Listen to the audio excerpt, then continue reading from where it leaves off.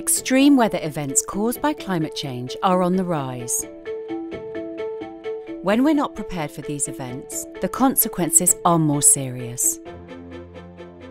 Failures occur across interconnected infrastructure networks, meaning power cuts, loss of communication services, and running water. This can severely impact people's everyday lives and this is only going to become more of a problem in the future as these events become more common and more extreme. Ensuring that infrastructure is resilient to these events is critical. The climate change resilience of infrastructure networks is a challenge that is not yet well understood and is one we need to address urgently.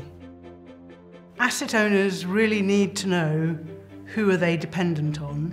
It's really crucial both for the integrity of the assets but also for the service you provide your customers. For example, a range of infrastructure providers. If one of them is affected, let's say, by flooding, and that maybe affects an electricity substation, and then that problem cascades to perhaps the water company that's using that electricity to run its plant and, and pump water, or perhaps the uh, communications infrastructure that needs that electricity to run the communications network. Understanding these risks in advance and how we can mitigate them is key. CReDo is really useful for Anglian Water to increase our understanding of infrastructure, interdependencies, and the future climatic impacts on our infrastructure. If we think about the, what's at the core of CReDo, and that's data. In reality, it's how we are sharing and using data with BT and UK power networks, and then actually integrating future climatic models and scenarios.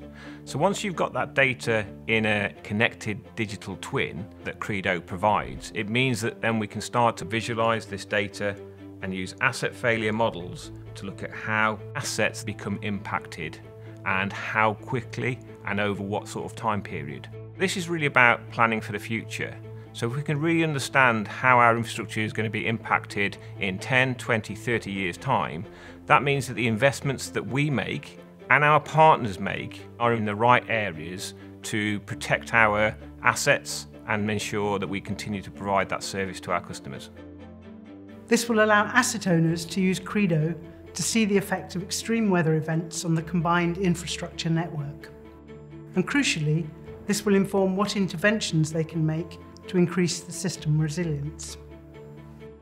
CReDo allows BT to share information with other critical national infrastructure providers in a safe and secure way. It's a distributed architecture where we retain control over our data assets, but allow us to share those data aspects which enable others to better understand dependencies between different infrastructure.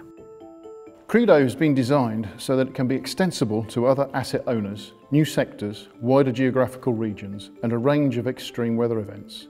The wider benefits are actually, you know, it improves overall resilience. The more participants there are, the more holistic the solution that we, we see and a better understanding of that interaction between those wider uh, network groups, increasing the benefits from using CReDo. Collaboration through connected digital twins is key to tackling climate change. Can you work with us to expand our network? To get involved, visit the Digital Twin Hub CReDo Taking Action page.